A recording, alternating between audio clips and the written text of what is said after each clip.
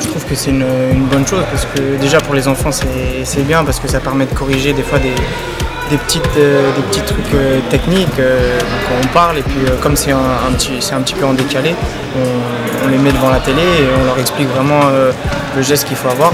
Et même des fois pour les matchs on l'utilise parce que des fois il y a des petits litiges. Par exemple le gardien il n'a pas le droit de sortir de sa surface donc s'il y a un petit litige ben, on regarde la télé et, puis ça, aide et au moins tous les enfants restent calmes comme ça il n'y a pas de problème.